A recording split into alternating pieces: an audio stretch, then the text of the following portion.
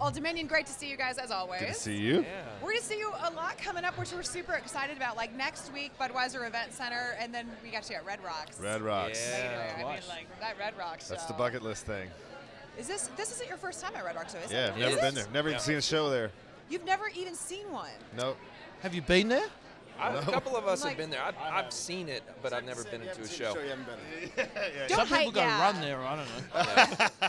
I actually don't go run there. A lot of people do, just because I feel like if I'm there, I'm gonna be like, "Where's the Where's the show? Right. Like, why am ah. I running this?" I didn't know running there was a thing. Oh yeah, it's like a park. People do yoga on the, the bleachers and stuff, whatever you call it, seats, stands. Yoga on the rocks. That's what. That's, That's actually cool. what it's called. Yeah, they do. They I do don't all know why I thought you would have done it though. Nah, yeah. I mean, seems like a place we would have hit somewhere. I mean, we've played everywhere else. It seems like your vibe. I think that's why. It surprised me that you haven't played Red Rocks. Yeah, I like hearing that. I like Yeah. that it's like our vibe. That's Yeah. good.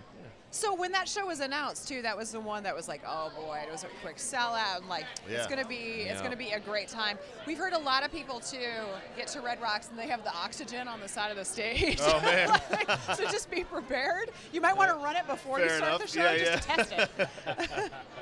That's hilarious. We saw you guys last year, obviously on a big stadium show. Now you're headlining this year and then bringing that show. What is that for you guys? How did you change it up or change the tour a little bit?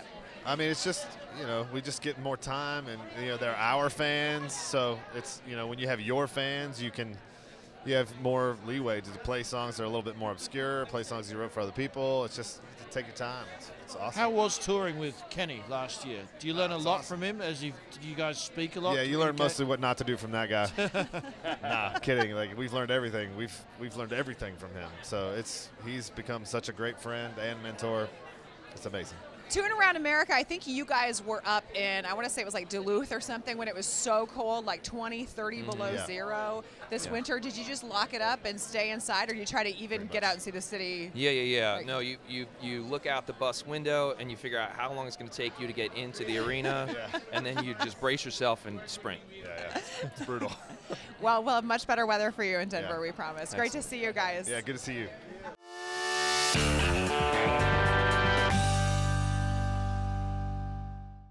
Hey, you guys, it's Tracy, and Mountain High Appliance is my choice and Colorado's favorite choice for appliances for over 25 years. Visit a Mountain High Appliance store near you today and keep watching for our coverage of the ACMs thanks to our friends at Mountain High Appliance.